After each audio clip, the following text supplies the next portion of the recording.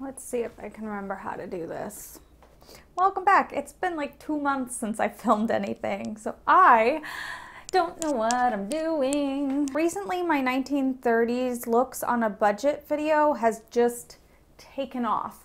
And since then, I have gotten a lot of people asking me to do another 1930s video. So here we are. Also, it's getting really hot outside um, and it'll be hot forever. And I just don't seem to have a lot of summery clothes for some reason, even though like it's hot for like 90% of the year. Um, I have a whole lot more cold weather clothes.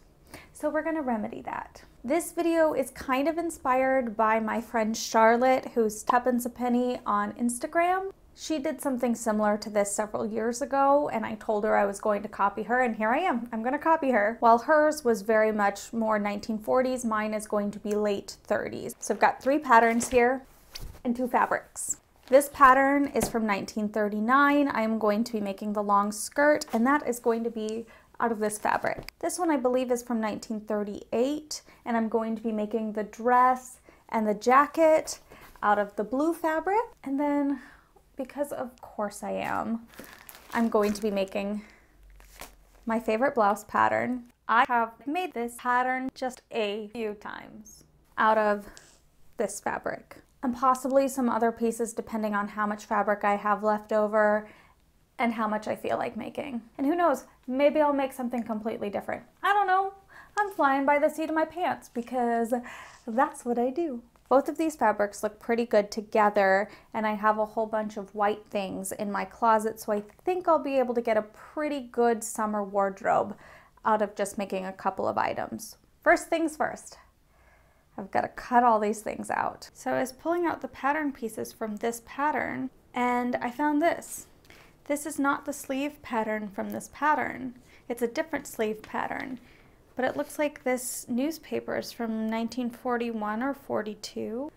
But what's really cool is, I don't know if you can see this, but it's got like Chinese lettering on it. I have no idea what it says. But how cool is that? I just love when you find interesting things in old patterns. I forgot to mention this, but both of these are cotton poplins. And I'm using a random white cotton that I had in my scrap stash for my collar and cuffs. I could not tell you what kind it is though. I was going to film myself cutting out this pattern, but while this vintage pattern is not in the worst shape I've seen, it's still very brittle, so I'm taking my time with it. So I will spare you the hours I spent cutting this pattern out. One million years later, I am finally done cutting out and marking up this pattern. I'm not gonna lie, this pattern looks very intimidating. I decided to work on the hardest one, get it out of the way. The skirt looks pretty easy. The blouse I know is easy because again, I've made it a million times. So this jacket and this dress looks like the absolute hardest thing. And plus, it's got scallops. The last time I did scallops, I failed miserably at it and I vowed to myself I would never sew scallops again. But then I remembered, the last time I sewed scallops was in 2018. I hadn't even been sewing for a year yet. Of course I'm going to do terribly at scallops. I've improved a lot since then, and I think I can do it. So I'm gonna try.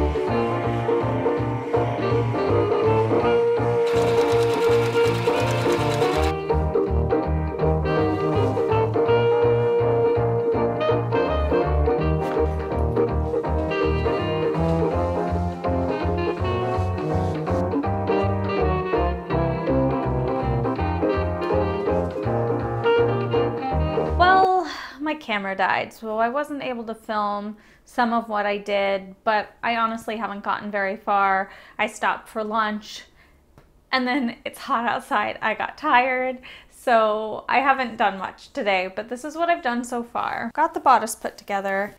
The skirt.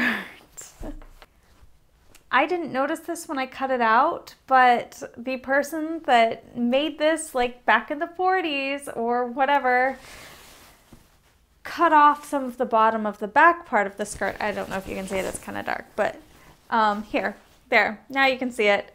This is the front, this is the back. That's a good amount cut off that I didn't notice. Luckily, I am also short. So this ends about right under my knee, which is kind of where I want it anyway. So I'm just gonna make a small like half inch hem and it should be perfectly fine. I will take this off to match it. I'm hoping to get the dress done today. Well, minus the hemming because I'm gonna let it hang just in case. So far, it's not hard, knock on wood.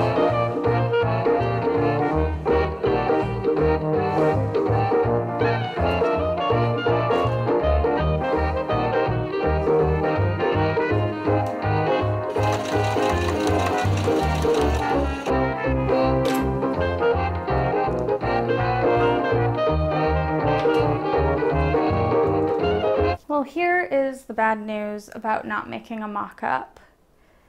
It's too big on me. I mean, it's not too big on me. Like, I think it fits fine, but there are some things that definitely don't fit. I think that this point is supposed to be right at the underbust, which would be like here. So I need to raise it up. I'm to mark that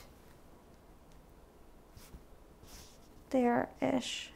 Yeah because I think the waist is a little low. And I think maybe I need to take the waist in just a, a hair. I don't know. I don't want it to be too tight, but I also don't want it to be too loose. And I think it's a little loose here. So I think I, yeah, I think I'm definitely going to take it in and then bring it up just a little bit. And I think it'll look good. Right now, it looks kind of bad. But I don't think I need to take it apart nearly as much as I thought I did. I think I just need to take, obviously, the zipper out because I'll need to take that in on the side. And then I just need to bring this up, like I said, to this little point. Maybe that'll make it look better because right now it does not look good on me. So taking that waistband up half an inch really did the trick. I didn't take it in at all because once I put it on over a shirt, it fit really well, but I think I'm going to make a belt with it because I almost never wear dresses without belts anyway. So I'm going to add that to my list of things I'm making. So I'm almost done with the dress. I have the facing on. I just have a few more steps to finish it. I'm gonna try to get that done tonight.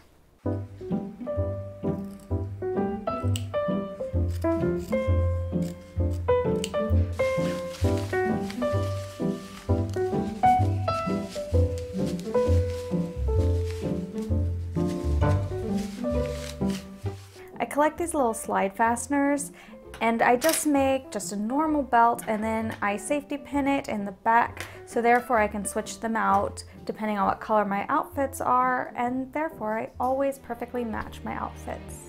Really don't need a pattern for this belt. I mean this is just a three and a half inch strip with a W at the top and as long as I need it to be but it suits my anxiety to use a pattern so I used this one.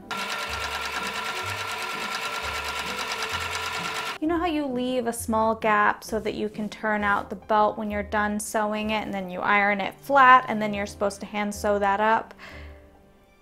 Yeah, I've never once sewn up one of those gaps. belt's done. Got the dress done. It is time for me to stop procrastinating and do the jacket. Honestly, I read through the instructions. It doesn't seem too hard. I think the hardest part was figuring out which dots on this were the darts because there are a lot of dots on this. I don't know if you can see it. I don't, I don't know. A lot of dots.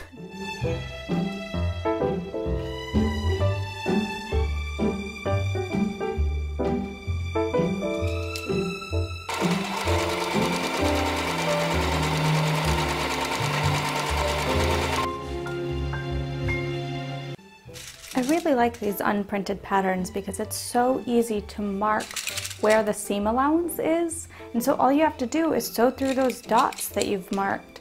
I wish all patterns had these perforations. It just makes marking fabric so easy.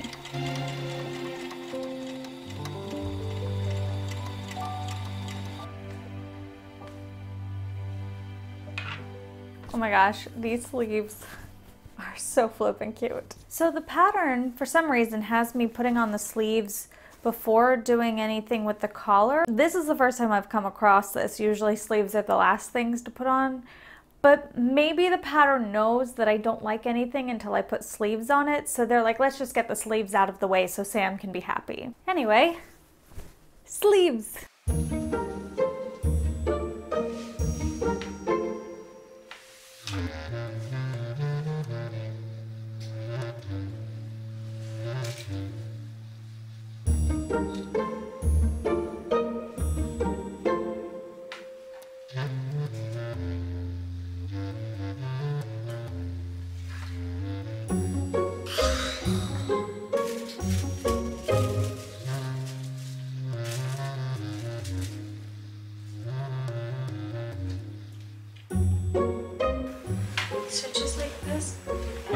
Like this, stitches like this, back this way, like that.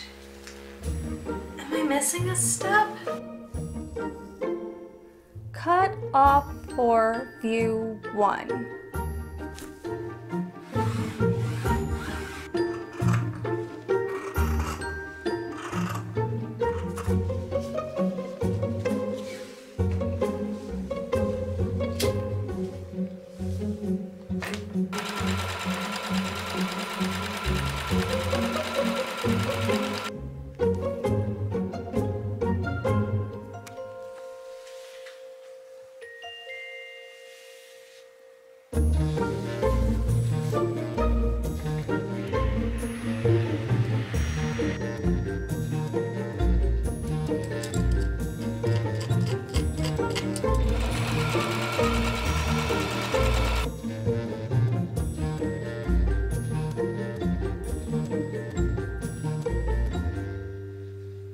Change of plans. I don't think that this jacket and skirt look particularly good together. They look fine, but it's not my favorite combination. And to be honest, I will probably never wear them together. So I've decided I'm not going to make the blouse out of the green floral fabric. Mostly because A, I've already made one of them in a very similar color fabric. B, I just don't think that the floral fabric looks great with the navy. I just don't feel like the weights of these fabrics work well together. These are both cotton poplins from the same manufacturer, but they have completely different weights. This one is nice and light and airy this one is much stiffer. I just don't understand why solids tend to be of a lesser quality than printed cottons. Like if you say you have a cotton poplin, I don't know, I expect them to be the same or very similar fabrics and they're not. Anyway, I have an idea to save this project. Every piece I've made so far goes really well with other things in my closet. So I'm just going to make one more piece. I'm going to make this top from this Butterick pattern, um, but I'm gonna change it a little bit because I don't like the zipper in the back. And anyway, I'll explain it later. But even though these things don't go well together, I haven't failed. I'm just changing the premise a little bit.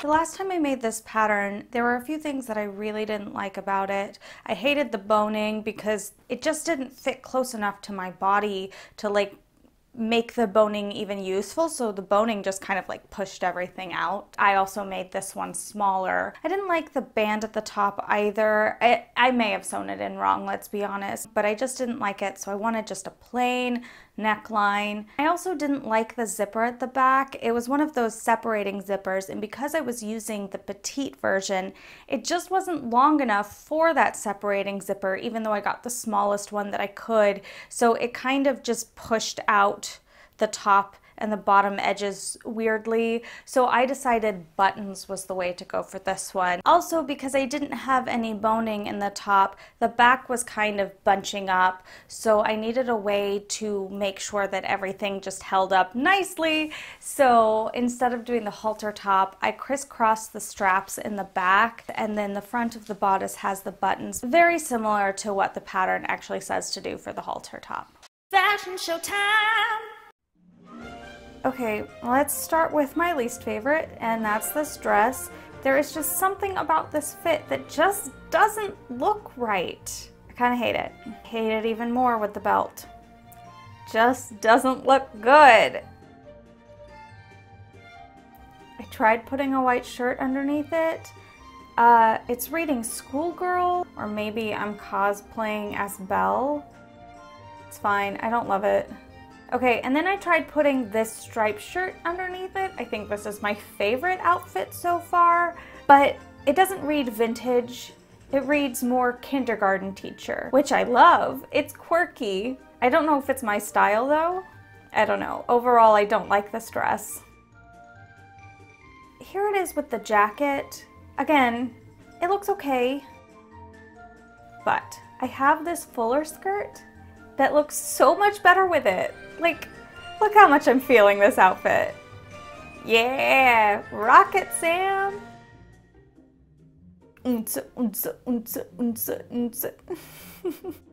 I also really like it tucked into these shorts. It's much more sporty.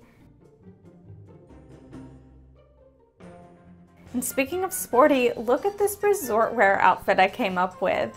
I mean, it could be these pants. I do love these pants. I did not make these pants. These were originally from ModCloth, part of their Collective collaboration. Um, I got them from thredUP, but I freaking love them. And I love it with this top. This is going to be my go-to summer outfit. And of course with the skirt, also very classy, very nice. I also really love this outfit. It's super easy to wear and super classy and super fun. I just love it. I just love both these items. Skirt's also super versatile. Here it is with just a nice casual top. Very nice, Sam, very nice.